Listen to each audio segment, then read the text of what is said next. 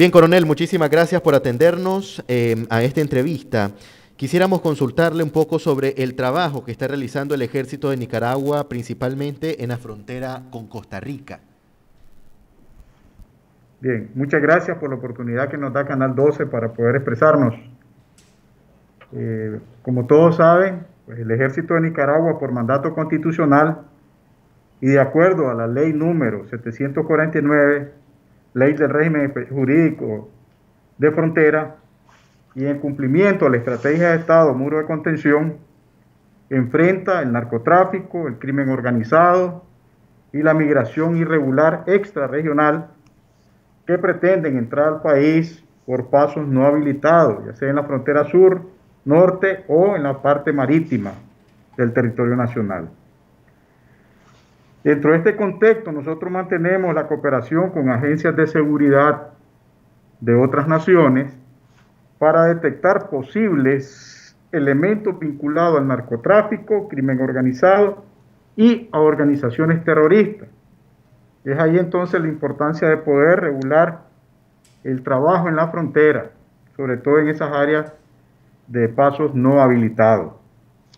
Por ejemplo, eh, en octubre del año 2019, con ese trabajo de interacción y cooperación con otras agencias de seguridad, nosotros logramos golpear al narcotráfico y retuvimos a los narcotraficantes, fueron capturados, retenidos, entregados después a las autoridades competentes en la parte de Cárdenas, limítrofe con Costa Rica.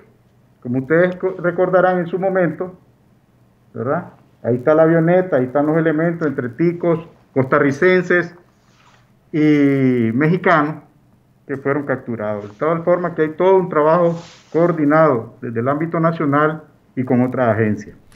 Coronel, me gustaría consultarle en relación a los migrantes nicaragüenses que se encuentran varados en la frontera de Peña Blanca. Hay denuncias de que supuestamente el ejército de Nicaragua habría disparado contra estas personas al intentar cruzar de forma irregular la frontera. ¿Esto es así?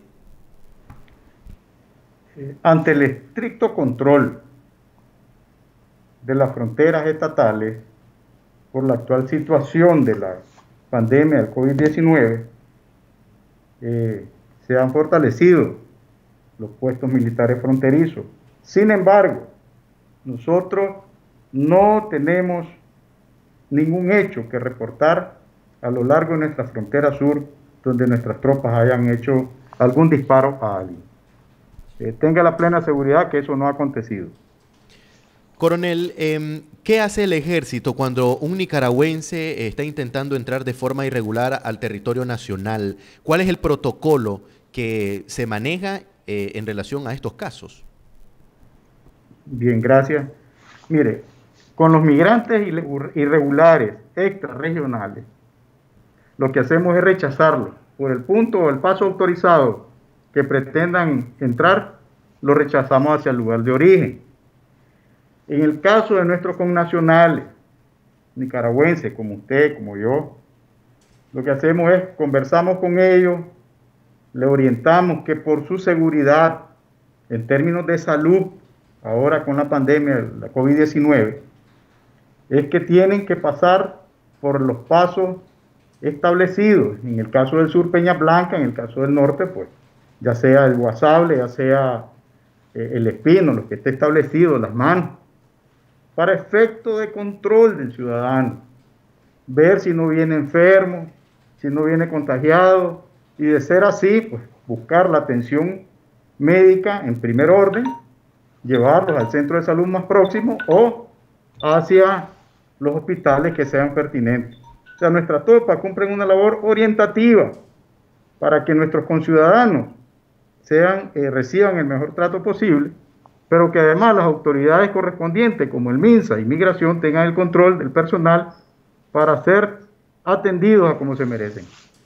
Solo para quedar claro, coronel, entonces el, dentro del protocolo que tienen ustedes como militares en la frontera no está el disparar contra migrantes ni nicaragüenses ni extranjeros. Efectivamente, como usted lo ha dicho, nosotros no eh, hacemos eso. Nosotros eh, cumplimos de acuerdo a lo que esté establecido en nuestra constitución, de acuerdo a las leyes, de, de acuerdo a la ley de régimen jurídico de frontera. Nosotros, nosotros tenemos el manual de comportamiento y proceder de los miembros del ejército de Nicaragua en tiempo de paz, conflictos armados, y ahí desglosa todo lo que nosotros debemos hacer y cómo lo debemos de hacer. De tal forma que eh, esa, eh, eh, en el caso de los migrantes irregulares, lo que hacemos es rechazarlo sin violentar sus derechos. ¿Verdad? Y, y, se le dice pues que arreglen su situación migratoria donde debe corresponder. ¿Por qué hacemos eso y por qué tenemos mucho cuidado? Porque el peligro es que en esos grupos de migrantes pueden venir personas interesadas en realizar acciones terroristas hacia el norte de nuestro país, en otros países que son objetivos blancos para ellos.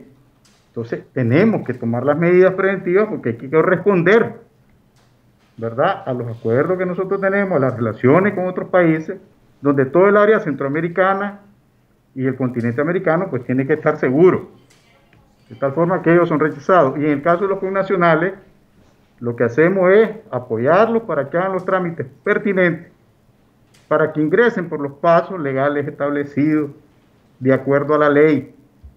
Coronel, ¿qué cantidad de no Sí, ¿qué cantidad de personas han entregado ustedes a las autoridades migratorias o del Ministerio de Salud en la frontera y que han encontrado ustedes entrando de forma irregular? Y específicamente le consulto en el caso de nicaragüenses. Sí, eh, recientemente nosotros compartíamos con los medios de comunicación social y a las autoridades competentes nosotros eh, en coordinación con ellos le hemos entregado 5.125 connacionales, ¿verdad? Que pretendieron entrar o entraron por diferentes puntos o pasos no autorizados y se llevaban de la mano con ellos hacia los puestos de salud que tiene establecido el MINSE en la frontera, de tal forma que le facilitar el seguimiento para evitar más contagio a lo interno del país.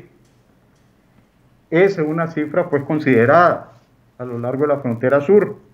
Y importante dato también es que hemos rechazado, por ejemplo, en el 2019, 32.018 migrantes extrarregionales. Y este semestre rechazamos 7.552 migrantes irregulares, ¿verdad? Hacia el lugar de origen. Coronel, ¿ustedes aplican algún mecanismo em, de salud para prevenir esto del COVID-19 con estos migrantes irregulares? Eh, efectivamente, nosotros tenemos nuestro plan de contingencia. Hemos capacitado a todo el personal que tenemos en los puestos fronterizos militares, todos los dispositivos que tenemos terrestres, eh, navales, aéreos, de tal forma que nos permita, con los medios de protección individual, poder cumplir las misiones. Por eso es que, en el caso del migrante irregular extrarregional, lo rechazamos sin mayor contacto. Se le orienta que tiene que retornar por donde vino y con nuestros connacionales le indicamos que se tienen que trasladar al puesto eh, legal establecido o los trasladamos en conjunto guardando siempre las distancias pertinentes para evitar cualquier contagio. Coronel, tenemos todas las medidas pertinentes al respecto. Le agradezco por su tiempo y por sus comentarios, coronel. Muy amable, pues yo quería agradecer antes de terminar, agradecer al Canal 12 por la oportunidad que nos ha dado para aclarar estas dudas que son importantes que nuestro pueblo lo sepa para evitar ese tipo de especulaciones, señalamientos, a veces son infundadas y que gracias a este momento que nos dan para poder manifestarlo de manera clara y abierta, que nosotros somos respetuosos del derecho nacional, del derecho internacional y actuamos de acuerdo a la ley y a la constitución. Muchísimas gracias nuevamente, coronel. Que pase una buena tarde. A usted, muy amable.